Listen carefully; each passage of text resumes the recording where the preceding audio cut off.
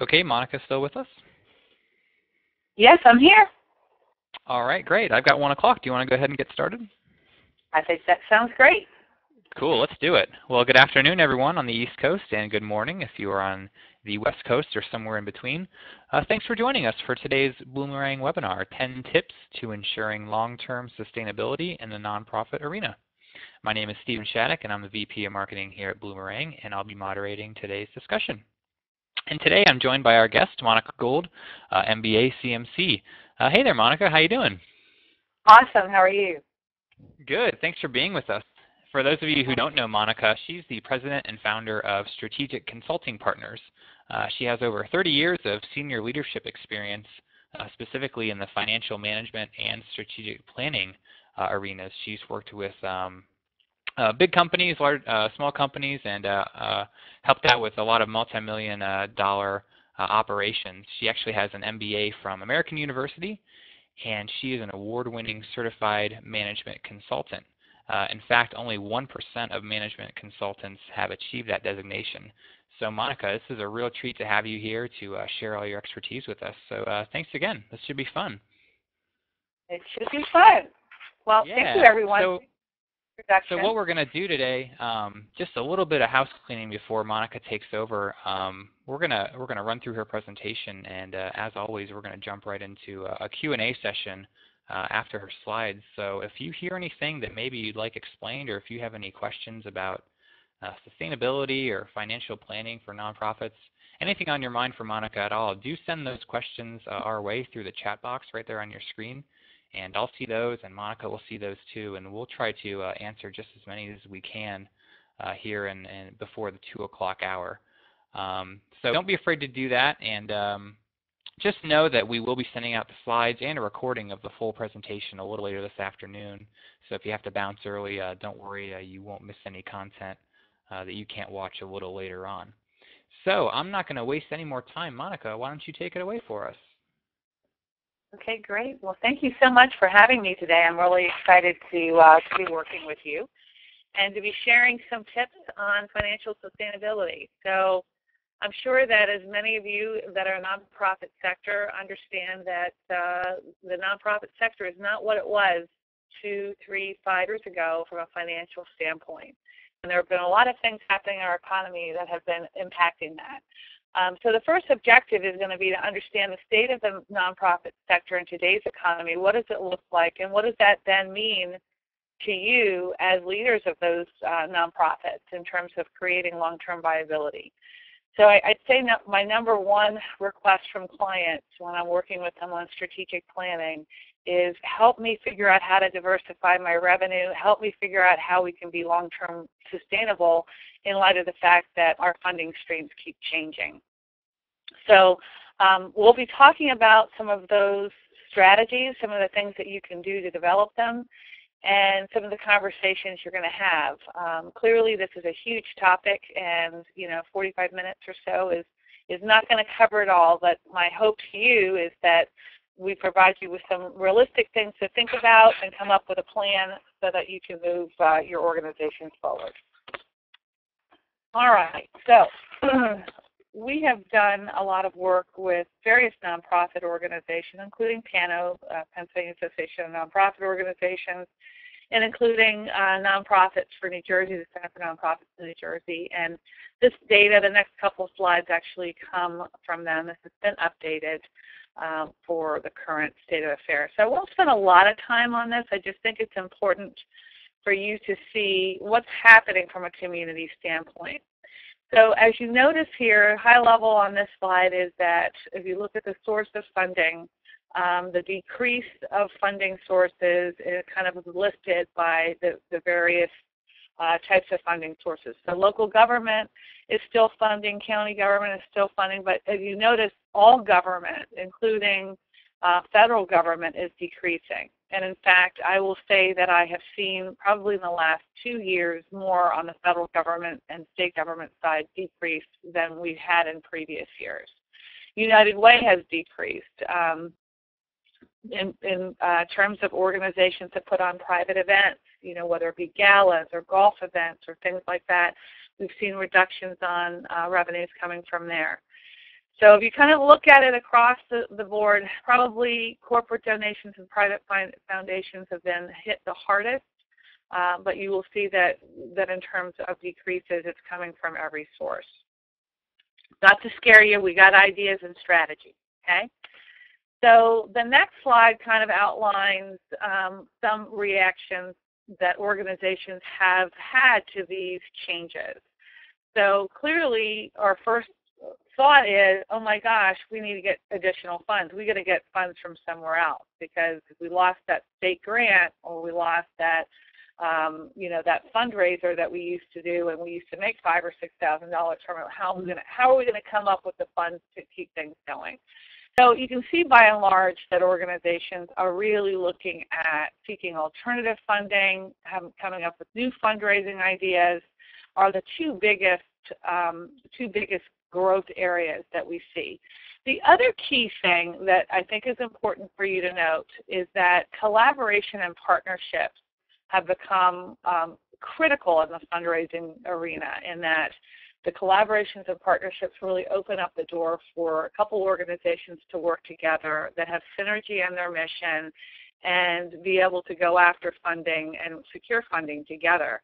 So we've seen that as a huge trend and that has really um, positioned organizations to be viable um, for the future. So if you notice the other kinds of things that have happened, less so, um, as, as you probably have experienced within your organizations, you do more with less. So freezing salaries is a, is a strategy, cutting staff, but, but you know, when we do these kinds of things, we have to note that uh, there will be an ultimate um, impact to our program services and the quality of our programs. So, so nonprofits have been really trying to work um, in figuring out alternative ways to, to raise their operating budget so that they can continue. Uh, next is if you think about how to improve the sector, some of, some of the key things that strategies that are happening right now is capacity building. Most local community foundations uh, and a lot of um, foundations like even Forbes you know, Fund and, and different foundations provide uh, capacity building grants that's a grant by which you go in and say, I'd like to do strategic planning and like to come up with a long-term financial strategy, and I'd like someone to help me to do that because we don't have that, that capacity uh, in-house. So um, a lot of organizations, a lot of foundations are putting putting money in there because what that does is it builds the infrastructure for the organization for long-term uh, sustainability.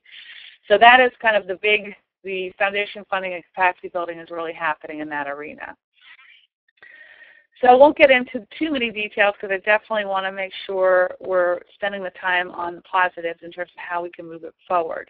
Um, as you probably have experienced for yourself, you've probably seen a demand uh, for increased services, especially in um, some of the service areas, like uh, in the areas of people with disabilities, in the areas of, of human services, uh, potential welfare connections, domestic violence those those areas have actually increased in, in terms of the demand.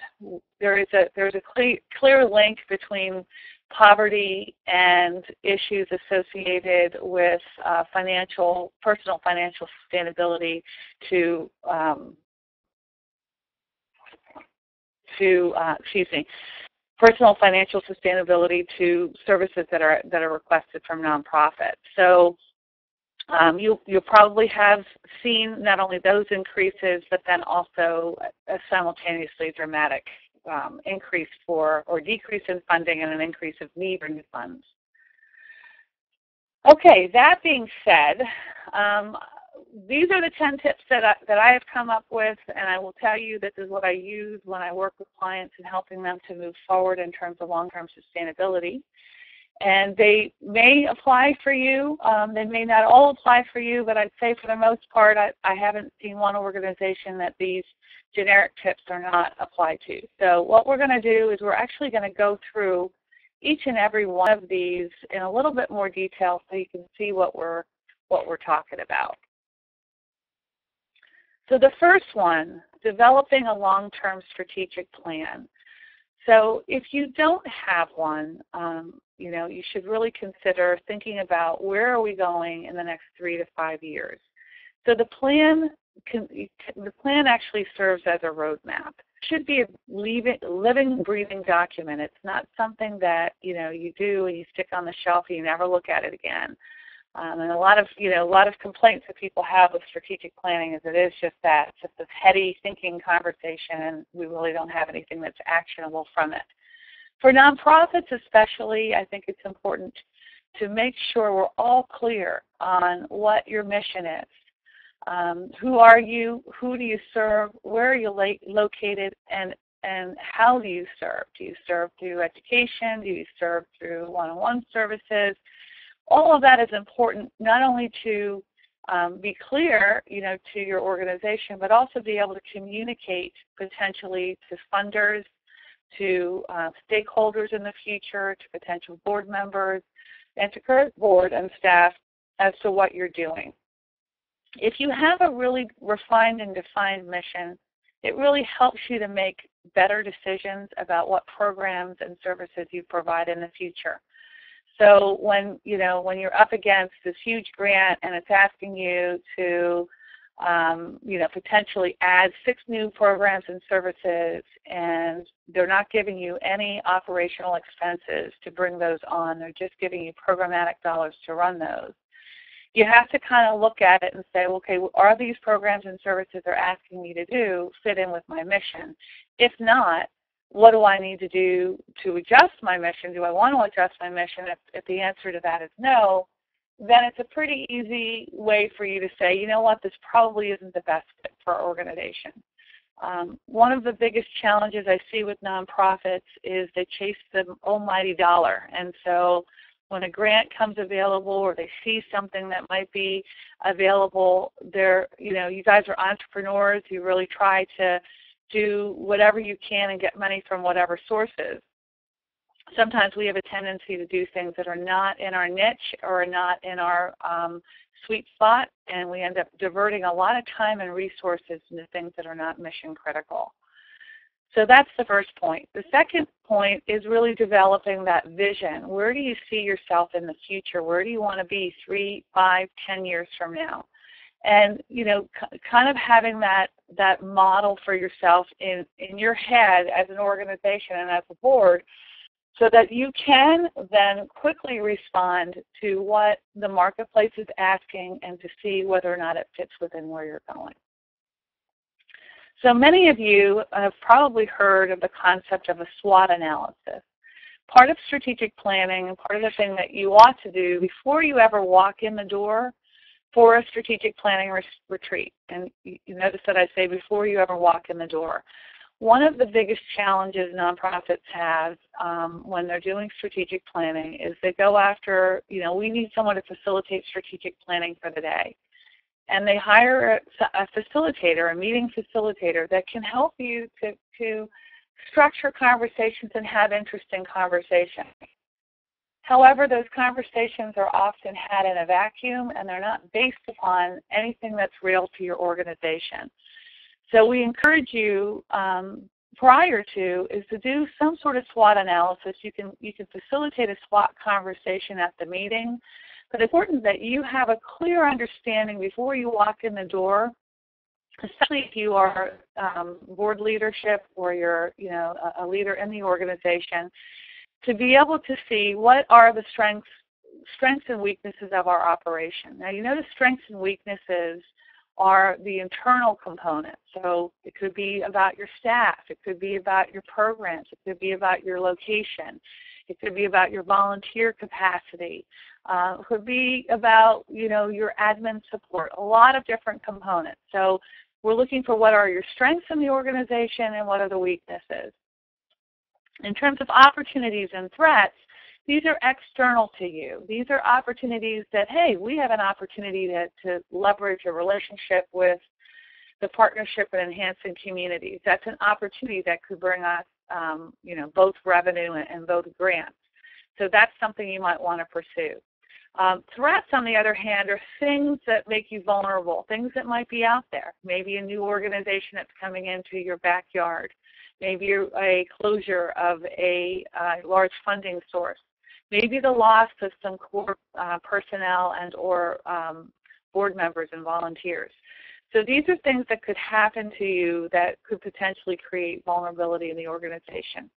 The purpose of the SWOT analysis is, is very simple. It's, it's helping you to understand the current state of position. Where are you and where are there levers and where are there constraints and where are there problems we need to address. Taking the, the, the details from the SWOT analysis to see kind of where your gaps are from between your strengths and your weaknesses and where those opportunities and threats are, this is the basis for your plan. This is how you're going to go address the, the major components of your plan. So it is very critical. So once you have done that, and, and I encourage you again to do all of that before you get to your retreat, um, or at least that analysis component. So we think about strategic planning and the visioning component. The vision is where you're going in the future. You can see that at the top of the pyramid. The purpose and the mission is defining our day-to-day, who are we? That's what we talked about. Those two things should be discussed and talked about and at least polled through surveys or through focus groups or through different things prior to your retreat. And then you can facilitate conversations around those and, and refine those, um, those, your vision and mission and purpose. Values, um, these are your guiding principles that drive your business. So what are they? Uh, and, and often they're value statements. They're not necessarily just words. Uh, I like to look at them as, as actions and not just as nouns. So what are those values and then, and then how do they translate into how you deliver service and how you interact with the community and how you interact with your staff and your, and your internal stakeholders. Then we're ready to develop goals. Um, you'll notice then we talk about objectives. Goals are very high level things, so they would be maybe a goal around fundraising diversity, a goal around program quality, a goal around staff development, maybe a goal around board development. They're fairly high level, they're not SMART goals, they're not specific. The objectives are the four or six or ten strategies, whatever it may be, that you want to undertake for that goal uh, in order to be accomplished. And those objectives should be um, should be stretched out over a longer period of time. So, so if you have a, a plan for fundraising diversification by the year, you know, 2018, let's say, is what you're working on, if your objectives are all front loaded and everything has to get done in the year 2014 and 15, it's probably not that solid of a plan. So what we want to do is we want to make sure that we have, we probably have some that are front loaded, but some that are ongoing tasks and the ability to add new objectives as your plan evolves. So as you, as you start implementing some of your key first objectives, the first you know year's objectives, maybe adding additional ones after that year that would still tie into the same goal. It doesn't change your goal, your mission, your vision, or your values. It just looks at an additional and new strategies that you're going to undertake to get to where you need to get to. And the tactics for the specific actions. I mean, you know, Sally goes to X meeting on X date and accomplishes Y by, you know, uh, tea time. Okay, so it's it's very very specific and that'll be that'll be the driving um, factor behind whether or not you're accomplishing things. Okay. So that is high-level strategic planning in five minutes. All right. So so we talked about strategic planning as being such a critical part to really knowing where you're going. Um, the second critical piece, the, the second tip we have here is refining your organizational structure and your organizational plan. And I will tell you that this, if you are not, you don't have the right people on the bus or you haven't looked at how your organization structure might need to change and ebb and flow over time, you've missed the boat. Um, things are changing around you constantly. Funding is changing around you. The needs that you might have within your staff may have differed, may differ now than what it was two years ago or five years ago you should constantly be looking at what what is the structure, what is the performance management plan and structure, how you evaluate the performance of your people. If you don't have a performance management plan in place, you should really have something. that's tied to the performance of your people. Do you have the people you need? Do you have the right people and volunteers in your organization? So one of the things that really um, sort of as a, as a light bulb has hit me over the last I'd say a couple months as I've really looking at and strategic planning with, with nonprofits that are probably not that dissimilar a boat than, than many of you, is stop looking at things from a position of scarcity. Look at it from a position of, in the ideal world, if I had enough money to do the things that I needed to do, to do the programs properly, what would I need? Now, not saying that you want to change the world, because of course we all do, and we are all doing it in our own ways um, with the organizations that we work with and for. But just being realistic about what is it that I that I need in order to do the best job that we can do organizationally, and then building the case for support um, and fundraising around that is is very powerful. Rather than saying, "Here's the only money I have, so therefore this is the only staff I can I can have," but you know what? We're just going to have to try to figure out how to do it, you know, with that with less people, or we can't we can't hire the people we need because you know that's all we got. And so, I mean, that's how we feel, and that's kind of what our budgets reflect. But as you're going through this organizational planning, I would recommend that you try to do it from a position of um, not scarcity, but from a uh, position of abundance that you have you have the resources, or you can potentially work towards the resources you need. Um, it's about organizational structure. I mean, these are pretty pretty self-explanatory. Uh, can you outsource some things? I mean, are there people that can do some marketing and some Facebook stuff, social media stuff, marketing for you, strategic planning? Do you have to do it all yourself or can you hire experts to do some of these things? Can you share resources with other organizations? So, you know, let's say you're in the same building. I have a client um, right now that she's in the same building with two other nonprofits, and they share um, they share an admin. Person answers the phone for all three organizations, and you wouldn't know any different. So are there ways to, to um, become more effective and efficient that way? Do you have, have you looked at cross-training? One of the things that I, I see happen often is you kind of have these people that get into the niche of what they do well, and then you potentially lose a core staff person that you need, and nobody else knows how to do um, do that work. So now you're kind of stuck. You, you have got resources left left the building, and um, does anyone know how to do what they did?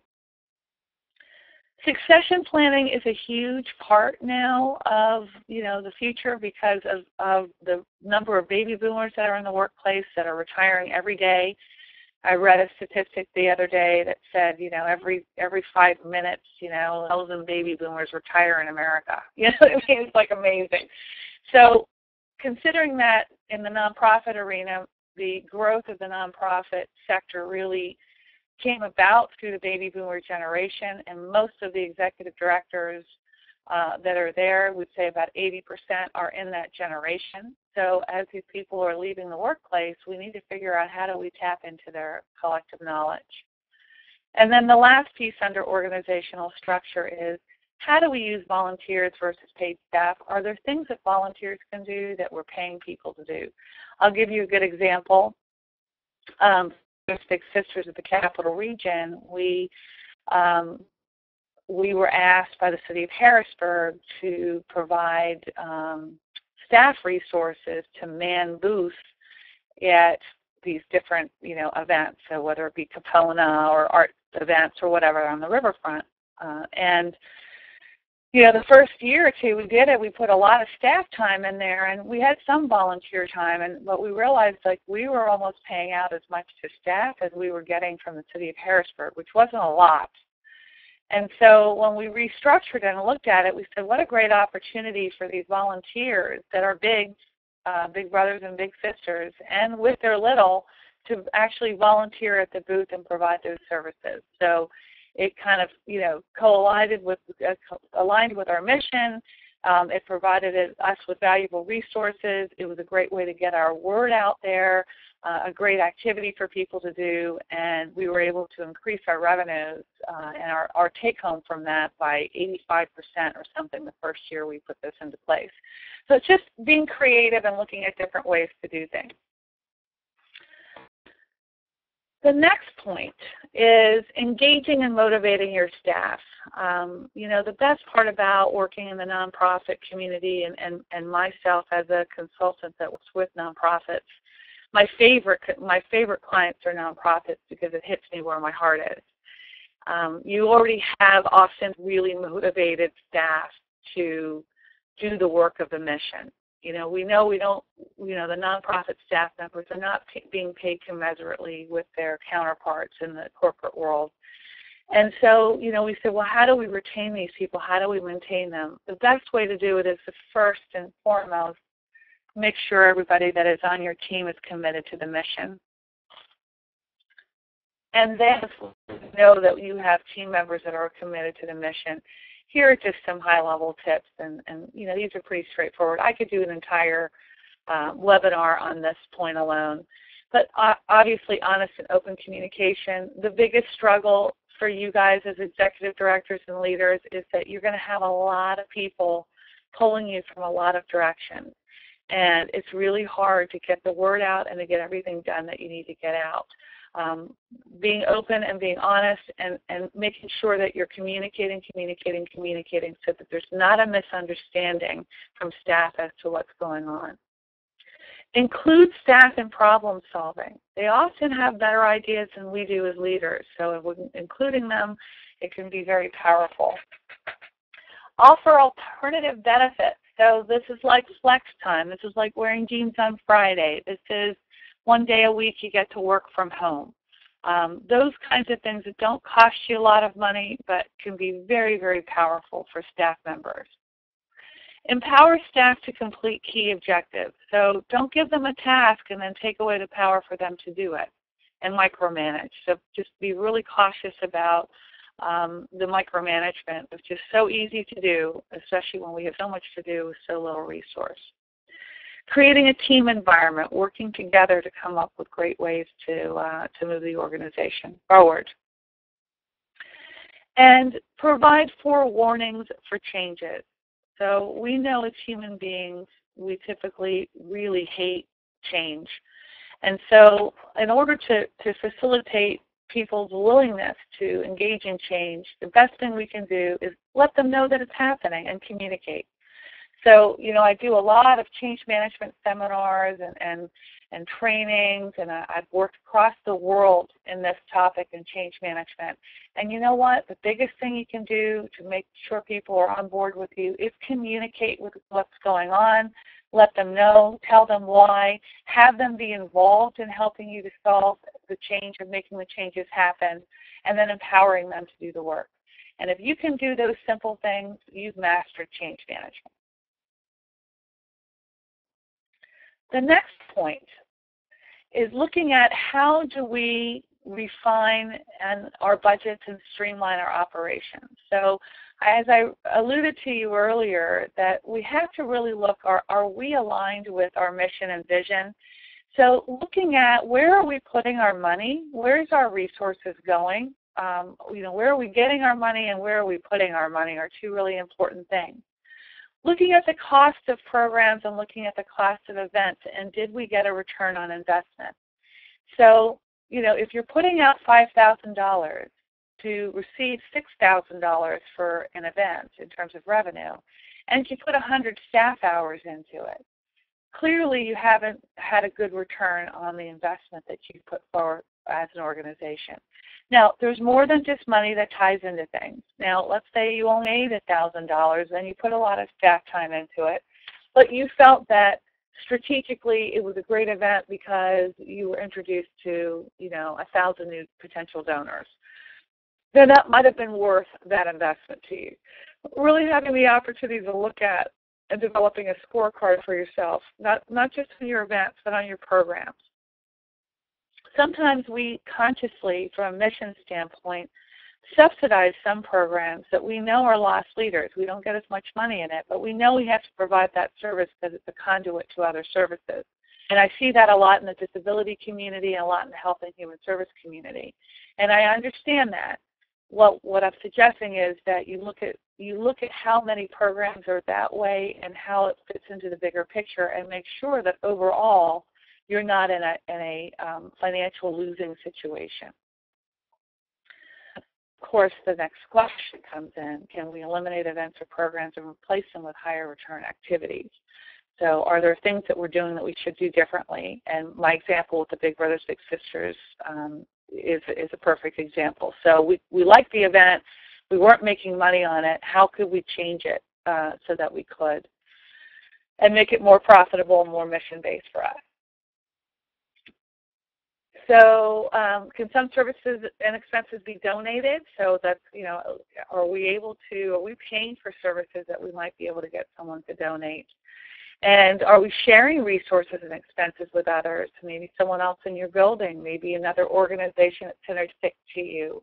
Uh, maybe it's, in, in some cases I've seen um, really active organizations or companies that have been part of the board of the directors that have offered um, free office space to a nonprofit that they're passionate about. So there are opportunities to, to receive these kinds of uh, legs up. So um, we talked about that, and then outsourcing. Are there outsourcing opportunities for you? Can you find other people that can help you to do things more effectively and efficiently than yourself? So um, I have a lot to cover, so I just want to make sure I'm going to hit these next few pretty quickly because they're, they're pretty um, self-explanatory to make sure that I have time for questions in about 10 minutes. So um, drafting your positioning statement, this is this is your marketing. This is who are you and how do you want people to see you and how are you unique from everybody out there. So um, this is a whole marketing, you know, conversation. If you can't figure out how you're different from the organization that's, you know, right down the street from you that's offering similar services, you may want to consider relooking at your mission and vision. You may want to consider joining them. You may want to consider how you want to position yourself and where you want to be. So this is very action oriented and it, it, it really gives the community an opportunity to know how you want to be known. So, for example, um, and this is a very brief statement, but United Way says, living united and it's two sentences and and you know you've got the little uh, stick people and you know you know exactly what that means they want us to live unitedly in a community. So that's a good example of that. Um, fundraising. So this is kind of the crux of it you know when we think about um, funding and you think about, let's think about your own financial positioning. So when you go to a financial advisor, the first thing they say to you is we really want to look at your, you know, your cash positioning. We want to look at where, you know, where you have your investments, and it's important that we diversify those investments. We don't want everything in one stock, for example. And that's kind of the way you need to look at fundraising for nonprofits. Is if you have all of your eggs in federal grants and federal grants are being targeted right now, you could be in trouble. You may not be around for in the next two to three years. So what you need to do is, you know, kind of look at what are the options. Some of these things will make sense and can make sense for your organization. Some may not. Events are what a lot of organizations do to kind of drive the day-to-day operations and to be able to bring in unrestricted funds. Um, I will tell you that events are very staff demanding and very um, labor intensive. And so unless you have a really good event or you have people that are really working it um, strongly with you and have a good volunteer base, I would think long and hard about adding additional events um, without making sure you have everything else covered on the back end because it's sneaky and it's surprising as to how much time and energy goes into them and sometimes how little the reward is. The number one um, donor uh, uh, for nonprofits is the individual. If you don't have an annual campaign now, start one. Uh, you can start small. And you know, you and and what we're talking about here is friend raising. You're trying to raise friends, not funds. So F R I E N D S. So how do you raise friends? You invite them to events. You have little, you know, things that that occur. Maybe it's a bagels and bigs like we do for Big Brothers Big Sisters or some other event that you're bringing people in the door and you're letting them know who you are.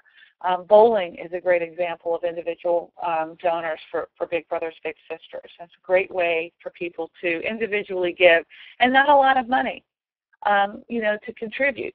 But you know, one every twenty dollars, and if you have hundreds of thousands of people that are contributing, it, it adds up. You, you're already familiar with in terms of what funding streams are available. okay, so detailed marketing and communication plan. So marketing and communication plan, so you say, well, how is this different from the strategic plan? I encourage organizations to develop a yearly marketing communication plan. And the first major marketing communication plan or the marketing communication strategy, not necessarily the plan, the strategy is built in the strategic plan. Your marketing plan should incorporate every kind of way that you communicate externally and potentially even internally. Are you doing newsletters or e-marketing or annual campaigns or social media? Um, you know, what kind of PR strategy do you have in place? Do you have media partners? You know, are you working with a radio station or TV station? And making sure that, you know, you are tailoring the message to meet your different stakeholders. So, for example, I'm going to use Big Brothers Big Sisters again because I'm intimately familiar with um, this component here. How we solicit volunteers to be bigs for our children is different than how we're going to market and communicate to parents of at-risk children. Is going to be also different than how we communicate to um, the children and how we communicate to community partners and our funders. So the message has to be dovetailed and tied um, the the message that we're trying to get out and what we're trying to target them to understand may be a little different, uh, and what we want to drive them to do may be different by um, target market. The next piece is formulating strategic alliances. I can't tell you how critical this is. If you haven't looked to partner with um, other nonprofits in your community, I would encourage you to do so. This can be very, very powerful for you. Um, Big Brothers Big Sisters in uh, the capital region recently has has uh, partnered with Dauphin County. We partner with school systems. We've partnered with Messiah College. We've partnered with fraternities, male fraternities, African American male fraternities in particular, who uh, can help us to bring volunteers to the table. So you can provide similar services or complementary services um, I would encourage you to do this. This, if you are doing partnerships and they're effective partnerships, and you know you can really drive funding to you. Non uh, excuse me, foundations and government entities that are looking to fund absolutely and utterly love strategic partnerships. So it's something I would encourage you to do. And I think we've talked about sharing of staff services and all that kind of stuff. Okay. Um, corporate alliances, let me give you an example. Big Brothers Big Sisters does a corporate um, mentoring program where we uh, partner with, for example, Highmark, and they provide 10 volunteers that we bring, the kids are brought to the facility or the, or the volunteers go to the kids' school, and they mentor them once a month. And so that's a great example of Highmark saying, you know, we're really excited about mentoring we want to support you in a big way. We're gonna we're gonna tap into our human resources and see if we can get you 10 or 15 mentors to mentor these kids. And for the same token, we're going to give you a little bit of cash to make sure that we can follow up with these matches and make sure they're good. So that's because it costs us money. It's not just getting the match; it costs us money to follow up and make sure it's a good program. That's an example of a way that you can um, align with corporations. Number nine, engaging your board and volunteers. So the best way to engage people is through your mission. That's why people are there. That's why people join it. make sure your board members are tied to the mission or interested in the mission. Um, talk to them about what it is. And I suggest that in order to engage um, people on the board in a meaningful way that's meaningful not just to you but to them is making sure they understand what you're expecting of them. So communicate what you want them to do, ask them what you need from them, and then cultivate a relationship. So each board member should be looked at as a, as a potential resource, as a potential resource to not only give personally, but also to connect you to their um, network and to um, you know be an extension of your team to you know to talk about your mission. So you know if you have board members that are showing up to meetings or not even showing up to meetings and not doing a whole heck of a lot, it's because they're not engaged. And there are a lot of things you can do around that. Again, that's probably a whole nother seminar. Um, the key here is that you know communication with them um, and, and, really being clear as to the expectations uh, and connecting them through your mission is really what's going to make it happen here. Don't forget to reward and thank people. Um, just having simple simple things like, you know, thank you for your service, or having uh, Mechanicsburg Chamber of Commerce does a Jubilee Day every year, and there's about 150 volunteers for the longest, you know, longest running street fair in America. And who who would have thought that in this teeny little town that I live in that there'd be 100,000 people that come to this thing? But there are 150 volunteers that participate. At the end, um, you know, two weeks after the event's over, we always do a, a thank you banquet and an award banquet, and it's not fancy. It's pizza at the local sub shop, but a thank you, uh, a volunteer event to uh, to appreciate what what's happening. So um, next one, last one, monitoring results and refining. So we've talked a lot about how to put yourself in the position to uh, to create sustainability. Sometimes what we forget to do, we put all these systems in place and we don't really monitor how. So the last key tip is our, you know, monitoring. Look at it on a regular basis, on a monthly basis, not just your financial documents. We have a tendency to just, you know, print out our financial documents and go over it with our board it's beyond the financials. Let's look at some metrics. How many kids do we serve? How were the programmatic outcomes compared to what they were the previous year? Um, did we drop the number of kids we're serving in a particular area? And why and why is that happening? Uh, really looking at a balanced scorecard and a return on investment.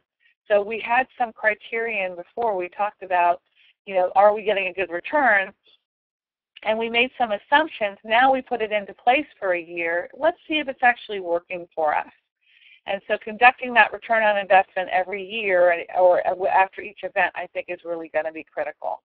And then not being afraid to pick that plan up, and that whether it be your communications plan or your strategic plan, to look at what are some of the short-term things that we need to do so that we can meet our long-term goals.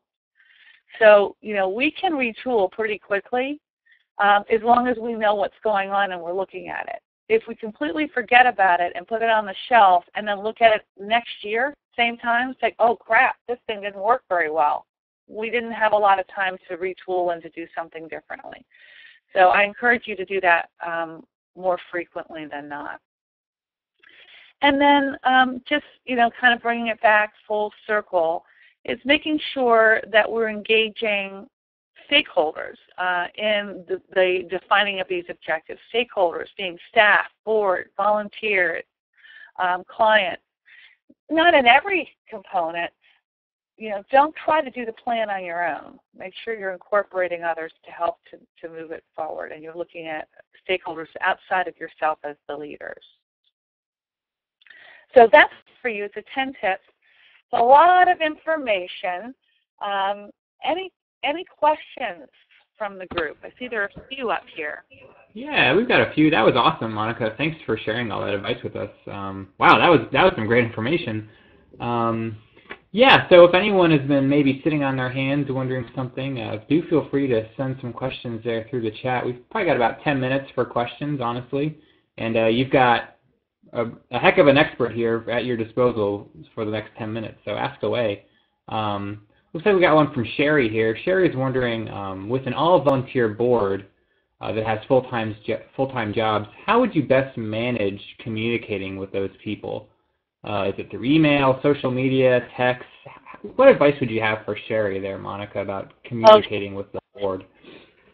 Sherry, that is that is the million dollar question.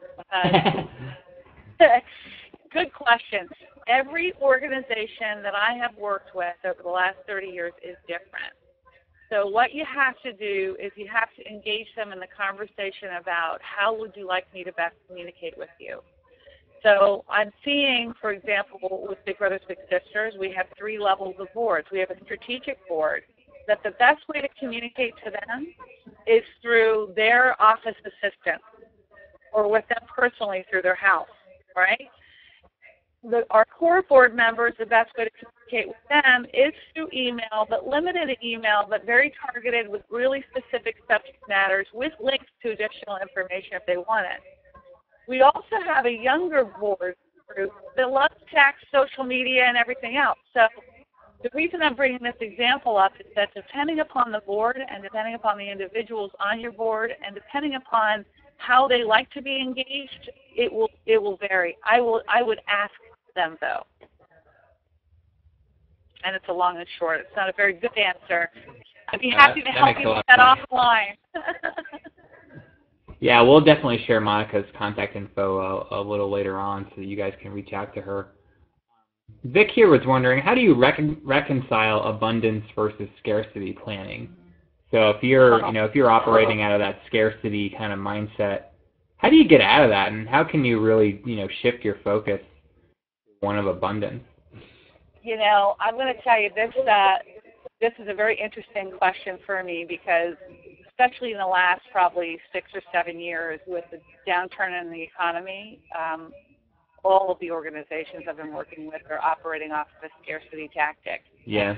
And I yeah. recently, last year, went, uh, this last week, went to um, a TANO conference, and um, we're just kind of having a different set of questions. You know, the mindset of, you know, let's stop talking about what we don't have. Let's talk about what we need so I think if it's, you know, we're not necessarily in an abundance mode, but I think we can talk about what we need to do the jobs that we want to do. And if we're kind of looking at it from that perspective, it's easy to build a business case from where you are to where you want to go if you can justify, you know, what it means, what it means to your programs, what it means to the people, what it means to the quality, and you can often, with, with that kind of analysis, you can often justify additional funding for programs, um, you know, for, for different kinds of things that you're doing as you're talking to funders. Because you're talking about it in a mindset of quality and value and, you know, best, best use of their time and resource. Rather than giving you a mm-hmm. thousand dollars, hey, if you could give me two thousand, can you imagine what we could accomplish if we had this, and this is what our program would look like if we had that additional money. I don't know if that's helpful in terms of, you know, it, it's, it is a paradigm shift. It's going to be something you're going to have to talk about and really think about for a long time. Um, and really start having different conversations with your board that is going to be critical. Great. Makes a lot of sense. We've got a good question here from Edie. Uh, Edie was wondering, what's the case for spending scarce funds and time and resources on strategic planning versus spending that those resources on you know your services and your provisions and things like that? How do you balance you know those resources when you you know understanding that strategic planning is important, but you've got a lot of scarce funds? Uh, what advice would you have for Edie there? you, you guys are stumping me, man. You yeah, these are a good ones. These are really good. well, you know, I guess you know you, you kind of look at it from this standpoint. Is you know, let's just take it away from our organizations. Think about it when you're thinking about your children and funding things for your children's future. You know, you mm-hmm. think about the people who do things at the moment. You know, oh, here's a tuition bill, I got to pay it, or do I want to come up with a financial strategy for the long term so that when my kid turns 20 or 19 or whatever age they are, you know, going to be going into um, into a four-year school, wow, I'm going to be able to at least fund half of that. And so, so if you don't invest in strategic planning, I get it. I know that you're trying to balance the program. The problem becomes it becomes an exponential issue, right? So you might be okay for year one and year two because you're just kind of taking every dollar you have out of the bank and doing everything that you need to do. When you don't invest in the future, when you don't put money aside for retirement or you don't put money aside for college funds or for those kinds of things, we know that the future is going to be difficult for us, right? So if you think about if you're running your organization is no different than running your own personal finances is that you want to diversify your funds. You want to have plans future. Can you do everything you want? Absolutely. Most people will say absolutely not. I will tell you that I, I'd love to say I'm in a great position financially for my retirement. And, you know, I don't think anybody feels great about it unless you're a multimillionaire. But I will tell you that I've been planning it since the time I was, you know, uh, in my first corporate job. So I have money set aside, and I put money aside for my kids, and I, I, I I've invested in myself um, and in my future um, in order to make sure I have a good future for my kids and myself. So I think of it as this: it's an investment in your future, and you have to decide at some point when is that time to trigger that. And and maybe it's not a full-blown strategic plan. Maybe it's let's have a strategic conversation around these kind of critical components um, going after grants for capacity building. Those grants, every time I turn around, there's another grant for capacity building coming up with, with local mm-hmm. foundations. So the money is there. It's of changing your mindset and saying, this is important to me and we need to invest in our future. Um, without that, I think you're just going to be day to day. And, and you're going to operate that way until you, you kind of come up with a longer term strategy. Yeah, great. We've probably got time for one more question. It's a good one here from Nicole, and I know Monica, you got to get on the road to DC, so I'm not going to hold you any longer. Um, but Nicole here is wondering how do you how do young organizations uh, with a big impact create balance and efficiencies with limited staff? So it sounds like she's got one paid staff member and then a volunteer board that they're dependent on. Uh, what what advice would you have for for for an organization that kind of has that kind of makeup? And um, you know, what advice would you have for her maybe five or ten years down the road? Well, I think you know the, the exciting thing about being a young organization is Nicole, correct? Nicole. Yes. Excuse me. The exciting thing about being a young organization, Nicole, is that there's a lot of passion. It sounds like um, around your mission. And so if you can take that passion and channel it and making sure that you're utilizing people in the ways they, they can be utilized.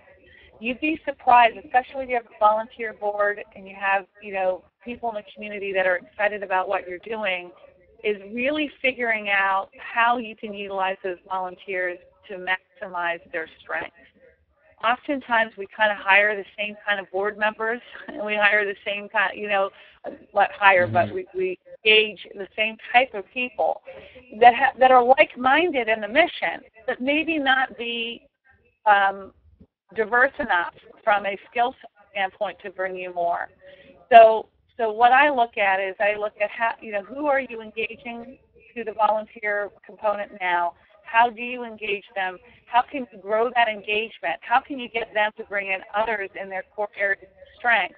And then what you've done is you've built an incubator um, for your organization for future success. You've built committees and you have groups of volunteers with, with different areas of expertise that can then help you to grow strategically, align together. And then as you do that, you, funding will come and staff will come and build upon that.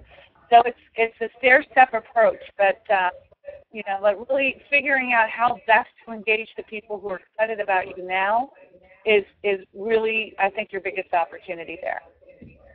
Cool. Do you think that people should should invest in, in actually hiring full time staff or or just continue on with volunteers? It seems like if, if your volunteers are working and if you're managing them correctly, you know, that kind of makeup is fine, but when do you think people should invest in full-time staff? you know, I, I, I struggle with that. I think, again, it's dependent upon the mission and it's dependent upon the mm-hmm. organization. Um, you know, if you, for example, with Big Brothers Big Sisters, because we are working with children and connecting children to volunteers, we absolutely, from a mission standpoint, have to have paid staff. Yeah. We need to have accountability and drive accountability back to our staff. We can't have we can't have that match support effort and all of that happening by volunteers. We can have the, the mentoring occurring by volunteers, but all of those sort of accountability components have to be staff members. So, right. so the answer is it depends upon the mission. It depends upon what you're trying to accomplish. I will say that what happens with organizations that are just volunteer driven is that often it's driven by two or three key people in the organization and when they burn out, there's no more organization. Right. Yeah. So you gotta you gotta figure out, you know, short term it's fine, long term it's not a sustainable model in order to ensure um, you know, long term viability. Because every time you get a new leader in there that's a volunteer, volunteer board member, they change the whole thing. You know? Right. Oh, we're gonna structure this way now. And so you don't get any sort of key organizational learning um, that takes place, and that that continuity tends to to be lost. So yeah. I mean, that's sort of a long answer. This is sort of it, it depends. no, I think that's great. Wow, this was awesome advice, Monica. Thanks for hanging out with us for about an hour and, and sharing all your knowledge. I hope everyone you know enjoyed it as much as I did. Um, just just in the few seconds we've got remaining, uh, where can folks find out more about you? I assume people can uh, email you, call you. Yes, yes, yes. I have my contact information on the screen. Um, we are located in central Pennsylvania, but I work with organizations across the country, uh, actually across the globe. Uh, we have done um, all kinds of operational and strategic planning assessments and, and organizations assessments for nonprofits on a small scale or a big scale. So, you know, we, we, we um, will work with you for a couple of hours if you just want some advice and want to talk through some things or if you want to go through a, a full-blown strategic planning process, we can do that with you. Uh, we have been very successful in helping the nonprofits we work with garnering funding for our capacity building services. So, you know, what, if, if, if, there is an interest in that, we'd be happy to provide you with a pretty comprehensive proposal of what that would look like.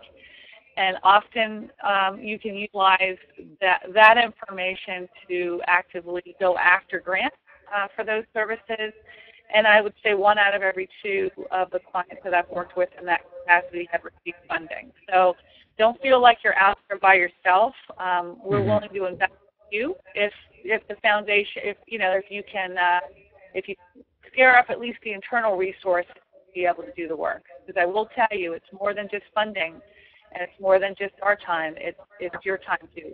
So you have to be willing to, to invest in that to make that work. But overall, we'd be happy to help um, we're, we're available and you have our contact information.